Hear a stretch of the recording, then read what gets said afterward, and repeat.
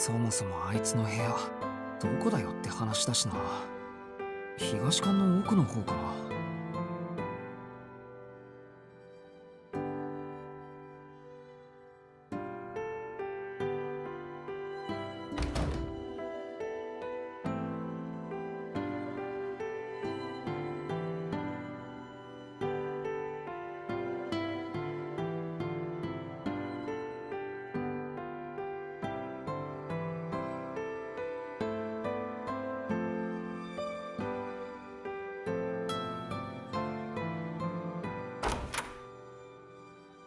おや一日ぶりだね四季君。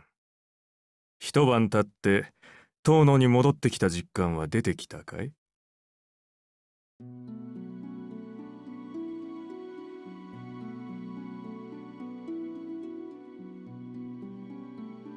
こんばんは。佐伯ゴートさんでしたよね。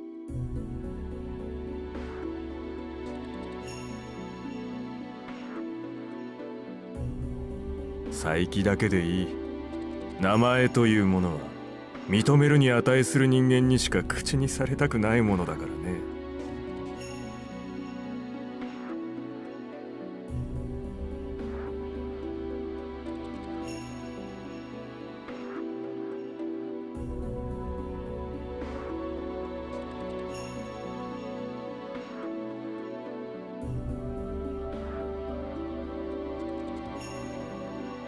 少し驚きました。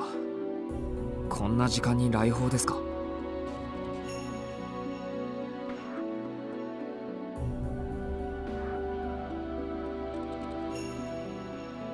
こんな時間？ああ消灯前だったか。牧久氏が残した悪い伝統の一つだな。0時を迎える前に屋敷の火を落とし住民に眠りを強要する。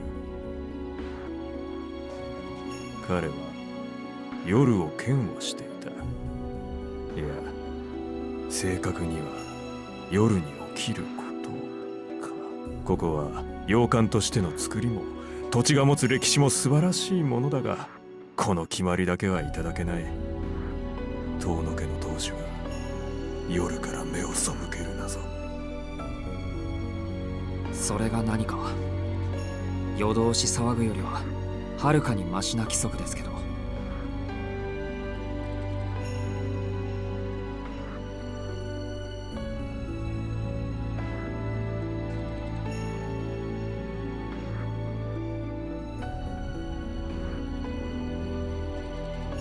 勘に触ったかね？結構。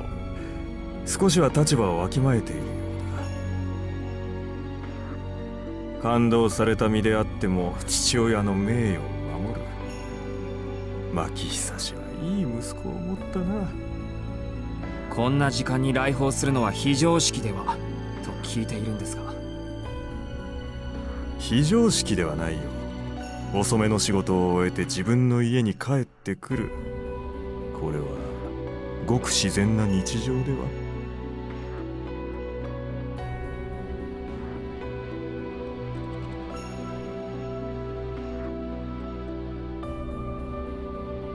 失礼。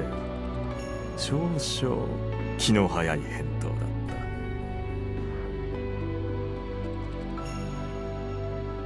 た。私はよそ者だ。宿泊用に部屋を与えられているが立場的には賓客だ。今は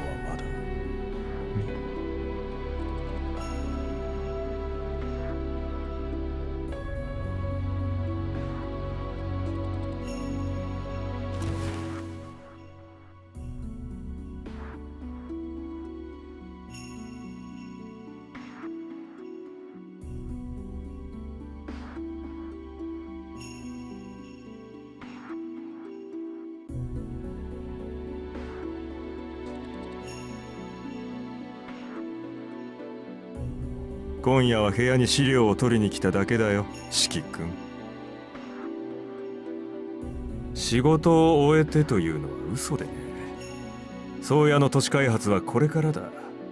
まだ片付けなくてはいけない案件が山ほどある。今夜は根津の番というやつさ。私が牧久氏を非難したのはこういうことだ。現代のビジネスに昼も夜もない。夜になれば朝を待つだけなんて身の毛もよだつ方針だ。いつまでも前時代の気分で会社を回されてはこれを引き継ぐ者が迷惑する。